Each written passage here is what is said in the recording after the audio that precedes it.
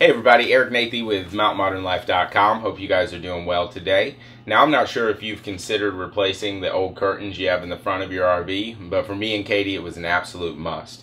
Now mainly because we had the old ugly 70 style curtains up front that you had to pull from the side and button in the middle, which was an absolute pain, not to mention that they were always visible. Whether they were closed or open, they were right in your face.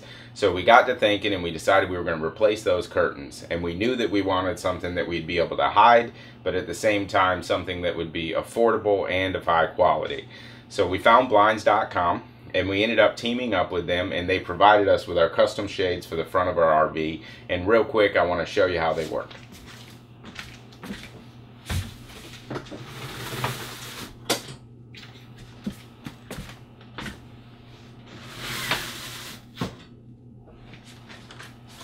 As you can see, that's pretty easy. Now our passenger side and our driver side windows are both cordless shade options.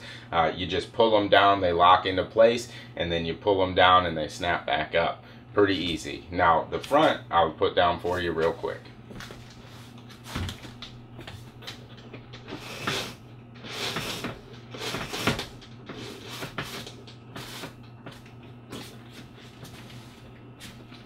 Super easy as well. Now, one of our main focuses was making sure that when we did replace our curtains with new shades, that we got shades that would allow light to come in, but would also give us that privacy so that no one could see in and we couldn't see out. Um, I think we accomplished that, as you can see behind me, the light's coming in and you can't see anything on the other side.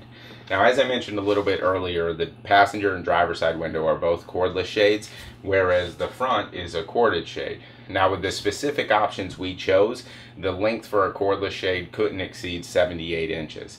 So we had to make a decision to go with either two cordless shades up front or one seamless corded shade.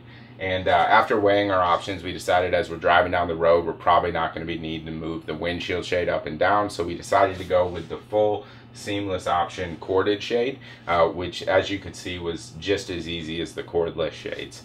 Um, but overall, we're extremely satisfied with the shades that we have. If you guys want to know a little bit more about the shades that we chose and why we chose those shades, feel free to click on the link in the description below.